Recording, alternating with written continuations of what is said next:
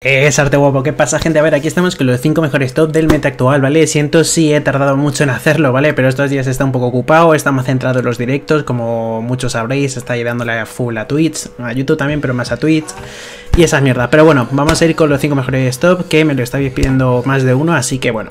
Evidentemente, lo siento, pero dos de esos eh, son siempre los mismos y son los primeros que voy a decir, porque están solo más rotos que hay, ¿vale? Pero antes de seguir, deciros que muchísimas gracias por el apoyo en YouTube, compartid mis vídeos, like, comentad y suscribiros a mi canal de Twitch de manera gratuita utilizando Twitch Gaming. Y también seguidme en Twitch y mirar mis directos en Twitch. Hostias, que hago directos a diario, así que pues lo dicho. Primer campeón, Darius. Sí, otra vez, como no, Darius, lo sé. ¡Wow, gope, tío! Es que llevas 80 putos parches diciendo el mismo campeón en tops. Es que está, es que se me ha roto, tío junto con otro campeón que luego digo, es que va a salir en todos los putos top que haga, ¿vale? Es así, es así. Si queréis, a ver, yo, los personajes que os digo en estos vídeos son personajes con los que, bueno, aumentáis las probabilidades de ganar si los usáis bien. Además de que Darius es que es fácil de usar de cojones, porque es que hasta una comuniones podría usarlo de puta madre como si fuera un OTP o un pro player, pero Darius es fácil y está muy roto. Pues las dos cosas combinadas, pues macho, hazte también Darius y a tomar por culo. Con estos campeones que os quiero decir que las probabilidades de ganar las ranked son, aumentan. No os estoy obligando a jugar con ellos. Yo solo os estoy diciendo cinco campeones que ahora mismo están top. Y uno de ellos es, como no, Darius, siempre. ¿Por qué? El tema de hemorragia. Se cura un huevo, mucho sustain. En fase de líneas es la hostia. Voy a bajar un poco más la cam, yo creo, ¿eh? Ahí está, no, yo qué sé. Da igual, así está bien. Eh, tiene de todo, es un campeón muy completo, ¿vale? ¿Cuál es la putada de Darius? Vale, le joden el CC. Eh, cuando le mete mucho CC, se jode. Pero luego si te das cuenta, es que se la suda, da igual. Porque si tú juegas bien con Darius, el cabrón ralentiza. El cabrón tiene la E que encima pilla y no pilla solo a uno, sino puede, pillar, eh, puede llegar a pillar a varios. En teamfight es la hostia. La, con la Q se cura un huevo y da, hace daño en área. Hace daño a todos los que estén alrededor. Eh, con la ulti, digamos que si mata un, a un enemigo, vuelve a tener otra vez la ulti para volverla a usar y otra vez y otra y otra y otra y venga, a tomar por culo, tío. Luego tiene la pasivas hemorragias, que yo opino que es lo que deberían de nerfear. Dejadme en los comentarios qué opináis vosotros y qué nerfeo le veríais vosotros a Darius como efectivo para que no decaiga mucho ni tampoco esté en el puto top como número uno. Al menos que esté en el número 10 o 11, no sé. Pero que en el puto 1 está Darius siempre, siempre y estoy hasta los huevos ya. Así que vosotros que le cambiaréis, yo le cambiaría el daño de la, de la hemorragia, que es la pasiva, que está demasiado rota. Sinceramente, está muy muy rota lo de la hemorragia. Vosotros que le cambiaríais la curación, el tema de los CDs, el tema del maná, el tema de la ulti, ¿qué le cambiaríais vosotros? Y bueno, vamos a ir con el segundo campeón, otro campeón, bueno, campeona, que digo en muchos patches en top, que es Fiora. ¿Por qué vuelvo a decir Fiora? Porque está rota. Además, eh, de estar muy rota. Ahora mucha gente me dirá, ¡Wow, Darius está más roto! Mm, están ahí, ahí. Lo único que Fiora, si sabes usar bien a Fiora, ves, Fiora para mí, eh, a mí al menos me parece mucho más fácil de usar a Darius que a Fiora. No sé a vosotros, para mí me parece mucho más fácil. Aún así, sigue siendo fácil de usar Fiora. Por lo que si me ponéis a un Darius contra una Fiora que se tengan exactamente el mismo nivel y tal, yo prefiero a Fiora. Yo la veo más rota y yo creo que le puede llegar a hacer un poco de counter a Darius. ¿Qué pasa con Darius? Que contiene una pasiva de mierda que solo con darte básicos ya te mete hemorragias, llega un momento en el que es que es imparable. Y como te mete una Q bien dada, ya está. Pero bueno, lo bueno de Fiora es que tiene mucha movilidad. Porque Darius, vale, te puede pillar, te puede ralentizar con el W, te puede dar tal, se cura. Pero no tiene movilidad. En cambio, Fiora con el tema de la Q está todo el rato moviéndose. Luego tiene el W para evadir una especie de stun o CC. Y si lo tira bien te puede llegar a stunear. Luego tiene el tema de la E con la que puede mm, cancelar animaciones de básicos. Lo mismo le pasa a la hora de usar Tiamat, puede hacer cancelaciones de animación. Y entonces le es mucho más fácil utilizar el tema de la R y demás. Luego con la R no se cura solo ella, sino que cura todo el equipo. No es como la Q que solo se cura el no. Si usas bien la R de Fiora y terminas rompiéndolo, matando el objetivo o dando los cuatro puntos vitales del objetivo, pues te curas tú y curas a todos los aliados que estén dentro del circulito de ulti. Así que os aconsejo Fiora 100%. Ahora en el meta actual, si quieres ganar, Darius, Fiora. Son dos top que están muy rotos, están muy top porque son muy top y son muy asquerosos y me ganan su puta madre. A si los sacan de juego y les hacen un arreglo. Y ahora vuelvo a preguntar lo mío que, con Darius. ¿Vosotros qué cambiaríais de Fiora para nerfearla un poquito? Para que dejase de estar tan tan top porque Muchos me, diréis, Dario no está tan roto o Fiora no está tan roto, pero cuando llevan 20 parches estando en el puesto número 1 y 2 de los mejores top, por algo es. Opino, pero bueno, Vamos a ir con el tercer campeón, que es Shen. Un personaje de que, por cierto, he traído la traje la aquí hace poco. Hace nada. O bueno, aún es que, claro, mientras estoy haciendo este vídeo aún no he subido la guía, pero creo que subiré la guía antes que este vídeo. Pero bueno, aún así, lo dicho, ¿vale? Eh, guía de Sen, eh, si no está va a estar eh, al día siguiente y demás. Una guía muy completa que hice y Sen está muy roto, además lo hice porque está tan roto el meta actual y me lo estáis pidiendo tanto que dije, tengo que traer a Sen. Hacía mucho tiempo que no traía Sen, hacía bastante tiempo que no jugaba con Sen. Y la verdad es que le estoy dando unos cuantos gameplays en plan y demás y dije, guau, qué recuerdos. Antes lo usaba mucho cuando iba a top porque es muy fácil de usar, es un top muy fácil. Y ahora mismo está bastante roto en el meta actual. Y además ya no es solo eso, sino que para aguantar tanto hace bastante daño, pues sea bien, dentro de lo que cabe. Pero para ser un full tanque, mete mucho. Le pasa como a Garen. Garen es un campeón que es full tanque, pero luego mete y que flipas. Y dices, ¿de dónde coño saca el daño si va full tanque? Porque es el meta de los tanques, yo que sé, los tanques están rotos.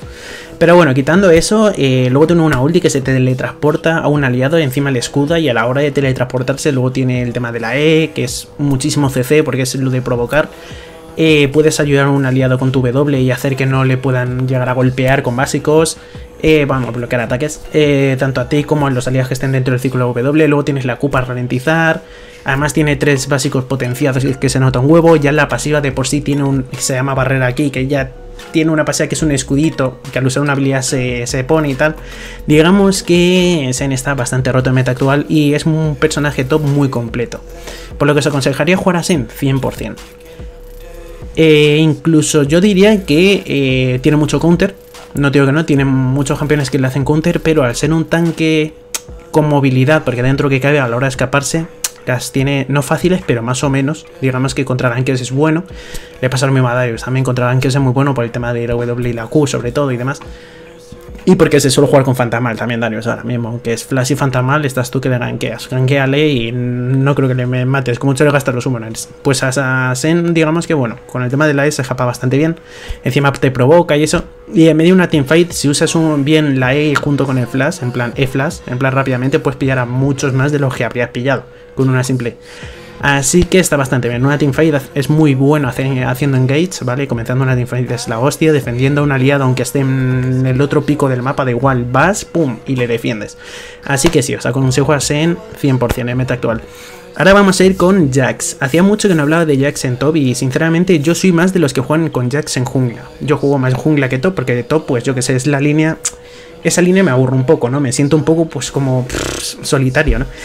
Tú te pones a farmear, es un uno contra uno, de vez en cuando, si es que aparece el jungla te rankea, de vez en cuando, si es que aparece tu jungla, rankea a tu enemigo, pero es una línea un poco, no sé, aburrida, ¿no? A mí me aburre un poco y tal.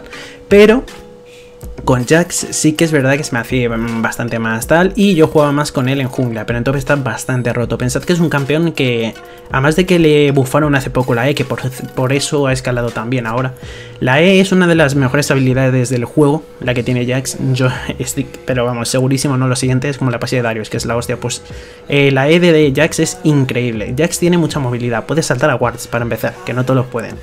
Eh, te puede saltar en la puta boca en 0, eh, te da con la W y puede hacer un autobasic de más encima meterte un huevo. Así que puede hacer cancelación de animación. Con el tema de la E puedes tunear a varios a la vez junto con el salto y ya no solo eso, sino que encima, mientras tiene la puta E, la vara dando vueltas, evade todo ataque. Parece una tontería, pero es un, eso se nota muchísimo, es bestial, pero bestial ese puto campeón. Luego con la ulti aguanta mucho más, mucha armadura, mucha resistencia mágica y demás. Luego por la build que se le lleva, termina curándose un huevo, metiendo un huevo y aguantando un huevo.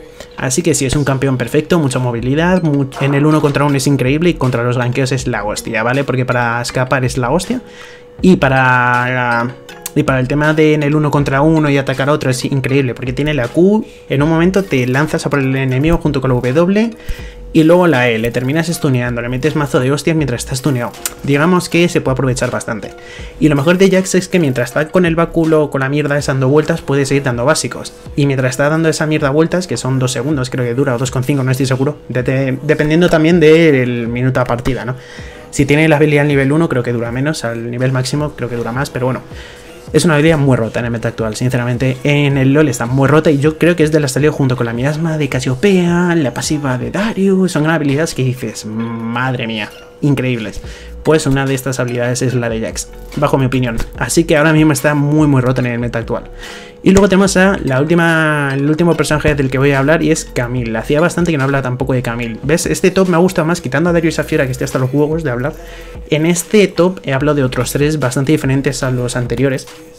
Y ahora Camille está pegando muy muy fuerte, se cura mucho, tiene mucho daño, no te deja escapar, tiene una ulti que digamos que expulsa a todos y te mete a ti solo dentro de esa ulti, no puedes escapar de esa ulti aunque tengas flash. Digamos que para la típica, el Tipi es el típico personaje que mete mucho, aguanta lo suyo, y para pillar a alguien que esté alejado es la hostia, ¿vale? Porque en una media de una teamfight, como tienes unas buenas cadenas y te en un momento llegas al enemigo, le empujas, le empiezas a dar de hostia y luego le tiras la ulti y le metes en el campo ese y a tomar por culo, ¿vale? Porque con el daño que tiene Camille le terminas jodiendo. Luego en fase líneas es muy buena. En el 1 contra 1 es muy bueno porque tiene mucho robe vida, pusea bastante bien, tiene una especie de auto basic en plan con el tema de lo de la patadita. Hace una tontería, pero se nota bastante, ¿no? El daño que hace. Digamos que tiene mucho burst ese campeón para ser, para aguantar lo que aguanta, mete bastante y encima tiene mucho burst. Así que para pillar un campeón, el mid, que es una LeBlanc o yo que sé, o cualquier otro personaje, una DC que esté muy fedeado y tal, te metes un momento, le tiras la ulti y pim, le metes en la mierda esta y le revientas en 0, eh, lo que os dije, tiene mucho sustain el campeón y sinceramente está bastante roto y para romper estructuras está bastante bien también. Así que os aconsejo probar a Camille, sí. Yo os aconsejaría probar a Camille, ver qué tal, jugar un poco con ella y tal y me dejéis en los comentarios qué opináis al respecto, ¿vale? Y por nada más chicos, hasta aquí el vídeo, ha sido todo un placer, muchas gracias por haberme escuchado, muchas gracias por el apoyo, como os dije al principio que estoy recibiendo pues, desde YouTube y Twitch, ¿vale? El tema de los likes, eh, el tema de los likes, los comentarios, que compartáis mis vídeos en las redes sociales, entre vuestros colegas, mi canal, compartirlo con algún colega que juega al LOL, que a lo mejor le puede interesar este canal. Y bueno, muchísimas gracias por todo el apoyo. La descripción tenéis mis redes sociales, mi canal de Twitch y todas esas vainas. Un placer. Y hasta el siguiente.